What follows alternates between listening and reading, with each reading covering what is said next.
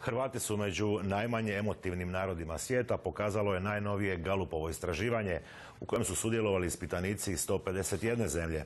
Oni su hladni, suzdržani i mahom ravnodušni ljudi, skloni kukanju, kritiziranju i škrti u pohvalama. Iako smo mediteranska zemlja i za sebe volimo misliti da smo temperamentni i vatreni, podaci pokazuju drugačije.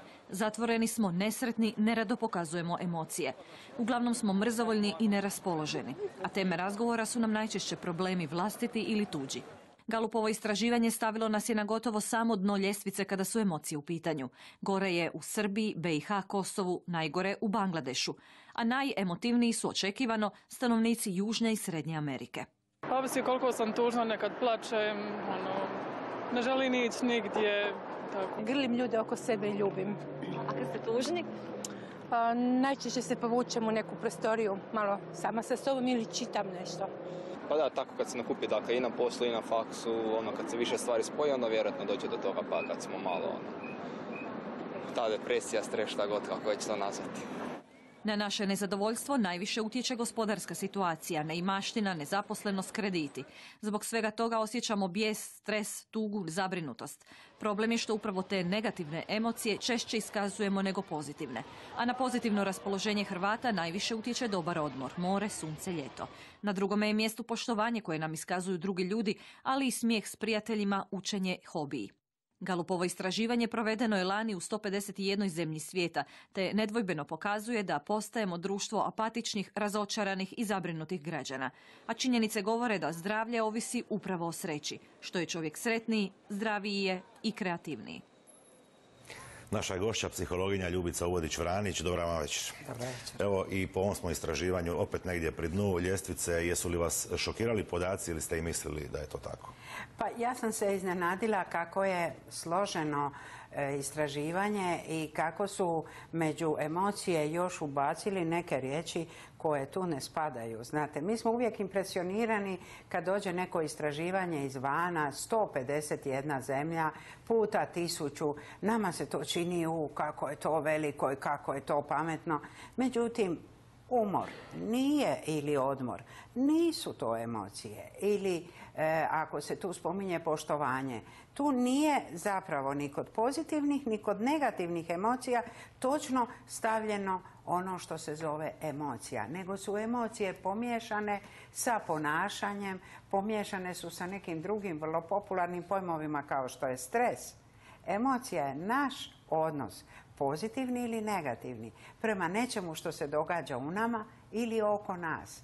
To su emocije. A ne možemo svašta staviti u jedan koš. Hoćete reći da su malo pobrkali lončiće? Da, da, usudim se, usudim se. Prema istraživanju kažu da smo hladni, suzdržani, ravnodušni. Ako je to tako, koliko je to dobro, a koliko loše?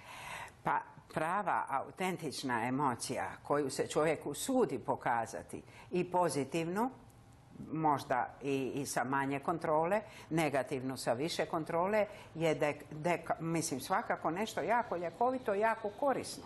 Ako čovjek kupi šta bi se dole u nas reklo uprsi, jel? a ako ste e, stvarno zakočeni i ako ne pokazujete šta osjećate, onda u sebi gomilate te osjećaje i to neće biti dobro. Nevolji stres. Da, međutim mi često korigiramo, režemo negativne emocije misleći da ćemo se tako spasiti, a tako možda odrežemo i pozitivne emocije. Tako da pokazati autentičnu emociju je vrlo važno. Vrlo važno, da.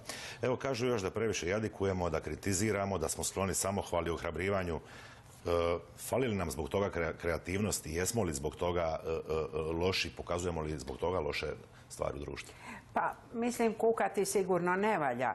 Jako je lagano i jednostavno biti nezadovoljan, a za biti zadovoljan treba se malo potruditi. Ali postoji tu jedan omjer, a to je ono što mi očekujemo i ono što dobijemo. Ako puno očekujemo, onda ono što dobijemo je uvijek premalo. Pitanje je zapravo kako neke zemlje Kambođa, Bolivija, kako su oni pokazali neke drugačije rezultate. Sigurno ono što oni dobiju je nije toliko koliko mi dobijemo, ali su možda njihova očekivanja malo realnija. Ima isto, isto jednako problema u društvu kao i mi. Dobro, kad podvučemo crtu sad ispod svega, koliko vjerujete istraživanju kao stručnjak? Treba li mu vjerovati? Da, pa mislim, općenito e, možemo vjerovati u, u znanost, jer znanost nije vjerovanje nego istraživanje.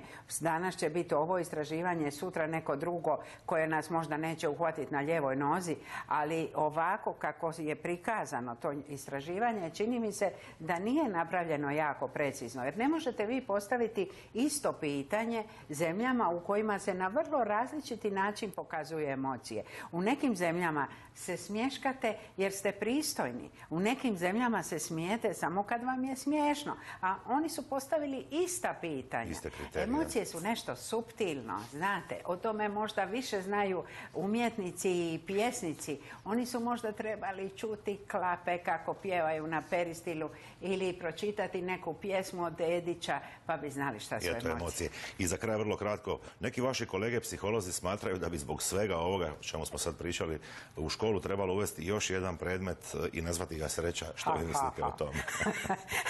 Ma, Mislim, ima puno već predmeta. Treba djecu učiti. Da se smiju kad im se smije. Da plaću kad im se se plaće. plaće. I da to nije sramota. Ali uvoditi takav predmet. To je smiješno. Suvišno. Hvala vam za večeras.